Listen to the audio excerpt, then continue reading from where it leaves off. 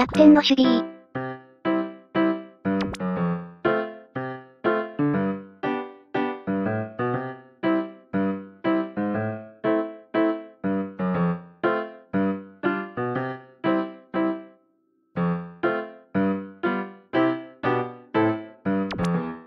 草。初めて見たわ。留守ならしゃあない。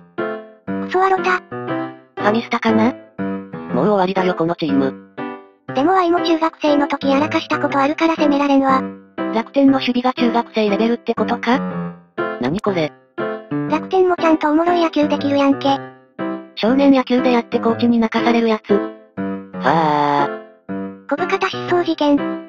実況はロタは？あーっと誰もいない。小深田は全てのポジション守備する守備職人だけど全ての守備位置で必ずエラーする。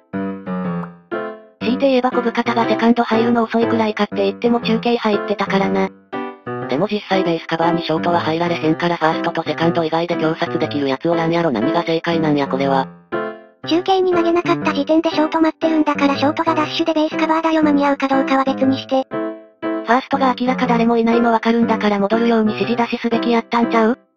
ショートセンターがもうダッシュでカバーに行くか浅村がもっとギリギリまで大やなファーストに送って一発タッチでアウトにするしかない。センターはレフトのカバー行ってるはずやから無理やろ。ちんたらセカンド後方歩いてるやん。センター誰や二塁に行こうとしたタイミングで焦ってベースカバー入ろうとしとるけど間に合うわけないやろ最初から走っとけや。いやこれセンターは無理やろ。そもそもライトはどこ行ったんや？ファーストのカバーちゃうの。レフトが二塁送球した時点でセンターもショートもダッシュせなあかん動き出しが遅すぎる。暗黒チームって必ずこういう面白プレイが出てくるよね。パワプロかプロスピで再現したら正解わかるか？石井の顔。